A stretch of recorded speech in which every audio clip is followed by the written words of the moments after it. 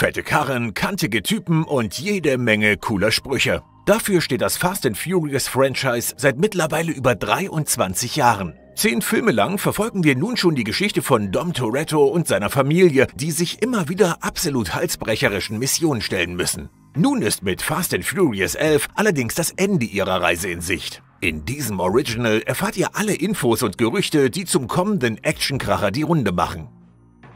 Die Story von Fast and Furious 11 wird stark davon abhängen, ob noch weitere Filme der Hauptreihe folgen werden. Das ist nämlich aktuell alles andere als klar. Bei der Premiere von Fast X sprach Vin Diesel noch davon, dass man die Reihe mit einem dreiteiligen Finale beenden wolle. Inzwischen wurden diese Erwartungen deutlich gedämpft. Nach dem mäßigen Erfolg von Teil 10 soll die Reihe nun vorerst mit dem nächsten Film beendet werden, von potenziellen Spin-offs mal abgesehen. Ändern könnte das wohl nur eine völlig überragende Performance an den Kinokassen. Zum Ende der Fast and Furious Geschichte passen die Gerüchte, dass man sich mit der Story auf die Wurzeln des Franchise zurückbesinnen möchte. Statt weltumspannenden Missionen stehe nun ein letzter großer Coup im Fokus. Möglicherweise können wir uns sogar wieder auf die guten alten Viertelmeile-Rennen freuen. Jason Momoa versicherte gegenüber Cinema Blend, dass uns wieder mehr klassische Autorenn-Action bevorstehen soll. Diese habe er in Fast X sehr vermisst. Das wäre im doppelten Sinne schlau. Zum einen dürfte es dabei helfen, die Kosten des Films wie gewünscht zu reduzieren, zum anderen beklagen die Fans ohnehin seit Jahren, dass die Filme zunehmend zu alberner Comic-Action verkommen. Eine Rückkehr zum Charme der alten Filme wäre bei vielen sicherlich mehr als willkommen. Über die Jahre ist der Cast des Franchise immer weiter angewachsen. Zuletzt stieß Jason Momoa in Fast and Furious 10 als Bösewicht Dante Race dazu. In den Augen vieler Zuschauer war er ein echtes Highlight des Films. Umso erstaunlicher, dass seine Rückkehr auf ziemlich wackeligen Beinen steht. Verleiher Universal Pictures scheint nämlich darüber nachzudenken, den Star komplett aus dem Film zu streichen und einen gänzlich neuen Schurken einzuführen.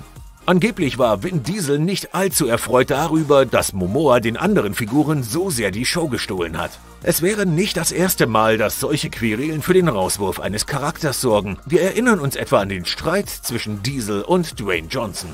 Allerdings gibt es auch schon erste Ideen für einen neuen potenziellen Gegenspieler. So wünscht sich Vin Diesel hierfür Oscar-Preisträger Robert Downey Jr. Dieser würde eine Figur verkörpern, die im kompletten Kontrast zu Dom und seinen Werten steht. Ein reicher Technikgigant, der ganz auf KI gesteuerte Fahrzeuge setzt.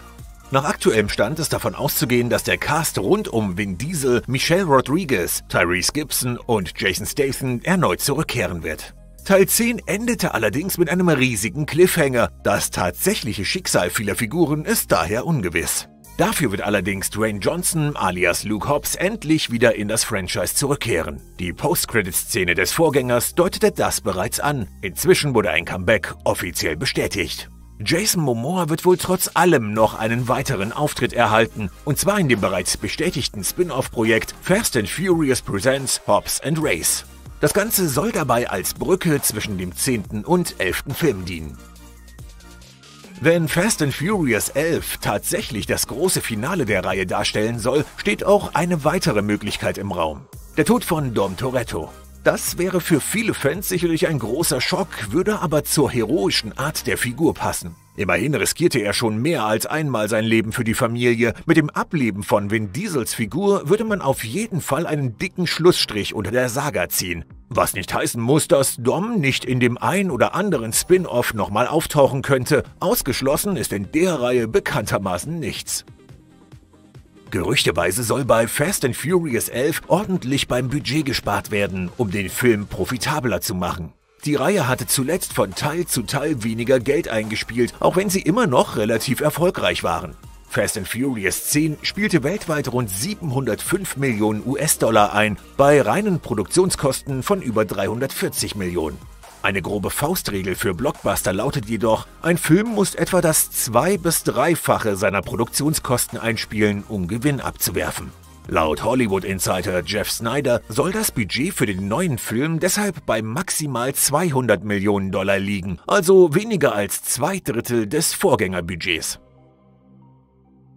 Die Regie übernimmt wie bei Teil 10 Transporter-Altmeister Louis Leterrier. Er hatte die Reihe nach dem Abgang von Justin Lin übernommen, der seit Tokyo Drift dabei war. Laut aktuellem Stand soll Fast and Furious 11 am 4. April 2025 in den US-amerikanischen Kinos erscheinen. Da allerdings noch nicht einmal die Dreharbeiten begonnen haben, ist eine Verschiebung relativ wahrscheinlich. Vor allem, wenn man bedenkt, dass das Spin-off Hobbs Race vermutlich sogar noch vorher erscheinen soll. Der offizielle Titel des Films lautet übrigens Fast X Part 2 und bleibt damit der kuriosen Linie treu, dass kein einziger Film der Reihe nach der gleichen Logik benannt ist. Bei elf Filmen eine echte Leistung. Im Deutschen werden die Filme allerdings seit Teil 6 nur noch durchnummeriert. Wir rechnen also hierzulande mit einem simplen Fast and Furious 11. Was meint ihr? Feiert ihr das Ende der Reihe mit einer Rückbesinnung auf die Anfänge? Oder dürfte die abgedrehte Action gerne so weitergehen wie in den letzten Jahren? Und welcher Teil ist euer persönlicher Favorit? Erzählt es uns in den Kommentaren und lasst dem Video ein Like da, wenn euch unsere kleine Vorschau gefallen hat.